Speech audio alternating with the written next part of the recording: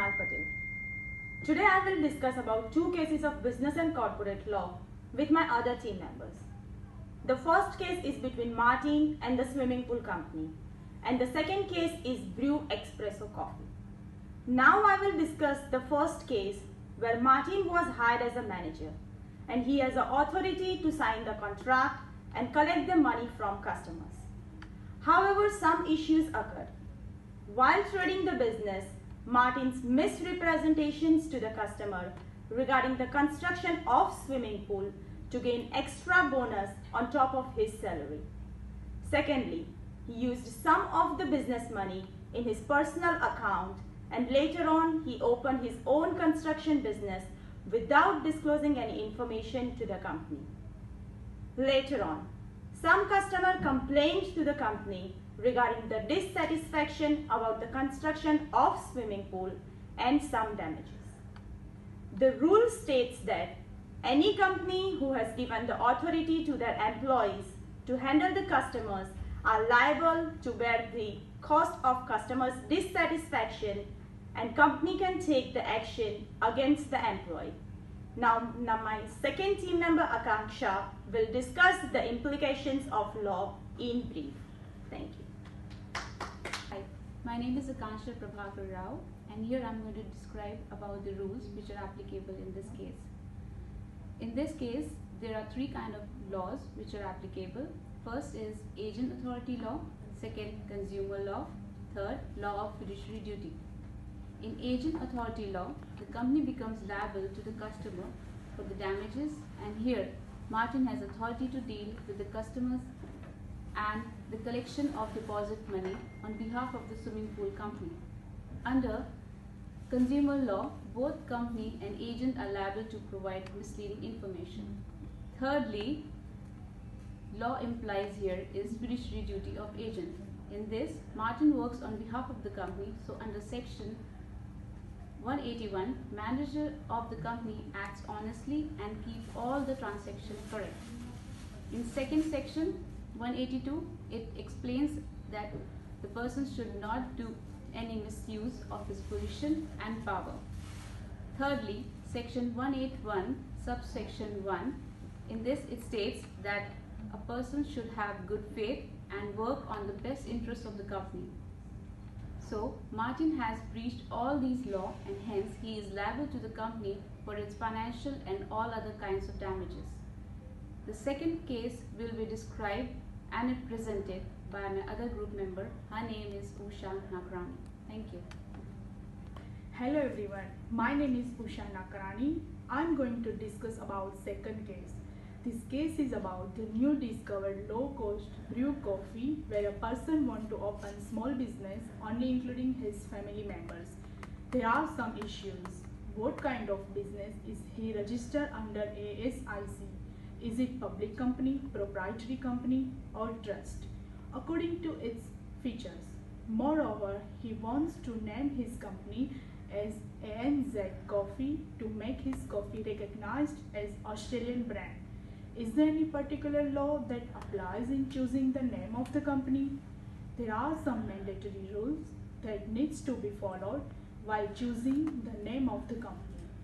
First one is according to Corporation Act 2001 the features of proprietary company is a small family owned business. The second one is a company should recognize proprietary as private limited in its name and company should not have more than 50 employees who are non-shareholders. The last one is a company should have one director. Now I would like to call my four team member Zaid. I will discuss further. Thank you. Hi, my name is Mohammed Zaid and today I am going to discuss about uh, the question about the questions which my pre previous member has raised in his presentation. So as my team member raised a question, what should be the size of um, company? According to the Corporation Act 2001, any small or big firm who want to open a family-based business, which only includes their family members as shareholders, are considered as proprietary company. ASIC can register new uh, Brew Espresso Company, a, a proprietary company. So, after the first financial year, company revenue is 10 million and assets are 5 million, and it has uh, 20 employees. This structure uh, matches with small uh, proprietary company. So, Brew Company, uh, Brew Coffee will uh, be registered under ASIC as a small proprietary company. However, after five, uh, like after five years, uh, the forecast shows the company revenue will increase with 27, uh, 26 million dollars. Um, gross asset will be uh, 13 million and will have more than 66 employees. So at the end of uh, uh, five year, the company will be converted as large proprietary company. Now I would like to call my friend uh, who will discuss uh, about what what will be the name of the uh, company. My name is and my student ID is YEG3019. After discussing both of the cases, I'm gonna conclude both of the cases and the important information that should be answered for on behalf of the question that included in the case study. So the conclusion of the uh, case study first, um, it should be according to the Corporation Act 2001 and Agent Authority Law, company is liable to the customer for Martin's Act and the repair of the damaged pool. On the other hand, Martin is liable to the company under fiduciary law, section 181 and section 182 to pay back the profit of the company. However, a company can take legal action as well against the Martin. Moreover, Martin is liable to the company under fiduciary law, section 181 and section 182 to pay back the profit to the company. So this was the conclusion for the case one, and the conclusion for the case two, that is for the Brew Coffee Company.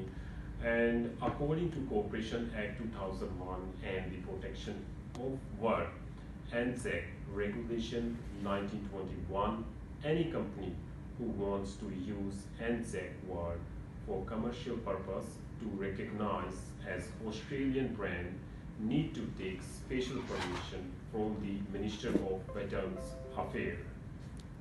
Moreover, the Corporation Act 2001 also explained further that proprietary company must use short form private in the name of the company, that is PTY. So, if government give the permission to use the word ANZAC, then name of the company would be, for example, ANZAC Coffee Private Limited. According to Corporation Act 2001, the new homemade brew espresso coffee will be identified as small proprietary company. However, in long run, it can be converted as a large proprietary company as well.